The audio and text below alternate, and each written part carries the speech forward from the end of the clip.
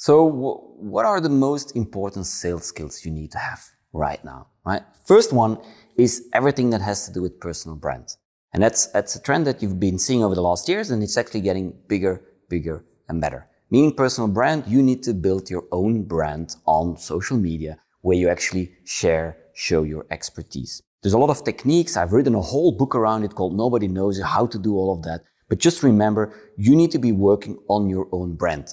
In, in one way, it's a good way to find other work and people find you interesting, of course, for that. And it's the best CV you can have. And on the other hand, you will be able to sell way more. Now, how do you build that personal brand? Well, it fits exactly together with actually another technique, which is called value-based selling. You have to share value. And what you share is you have to educate and you have to inspire. And, and if you only gear your machine and everything you say on selling, selling, sales, sales, sales, you will fail horribly. That's a technique of about 10 years, 20 years ago. And they still teach that. And when you watch the movies, but actually it's no longer working. And you know, but yet you can't resist to do that because that's how you think things should be done. Well, it's complete, utter BS.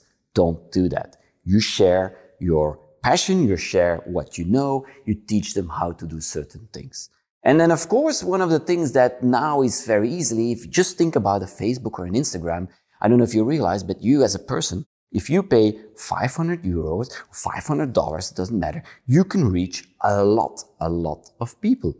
So you see me thinking personal brands, Facebook, Instagram, right? It all kind of fits together. True. But what I want you to do is I want you to really think in scale.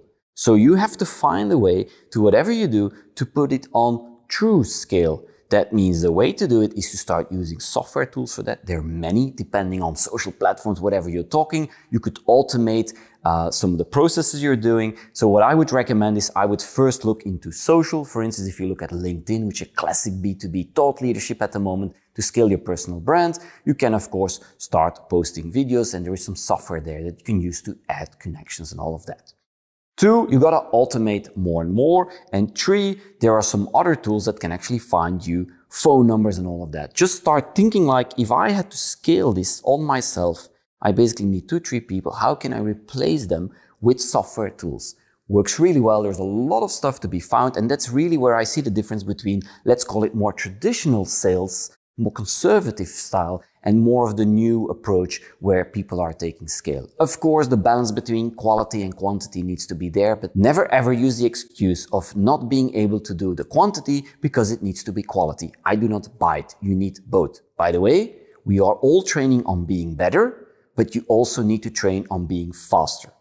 Last but not least, how to get through to somebody, it is the only way is by hyper personalization, meaning you have to find things that they are interested in and they have to stand out of the mass. So I more and more spend more time upfront writing something or doing something so I can reach somebody. Good example, a personalized video. It takes me 30 sec seconds. Hi, I'm Michael. I send them a picture of myself, short video. I show their websites. Things like that work really well. A lot of salespeople, they're nervous about it and it's gonna, it's gonna take me a lot of time. Yeah, but the more time you spend upfront, the better the hit ratio is. So you need to find a way to do this, right? Those four tips, they will work great at any given time. And I think it's the base to becoming a better salesperson. Don't forget to subscribe to the channel because a lot more on that channel explaining all of this, especially this automation in detail.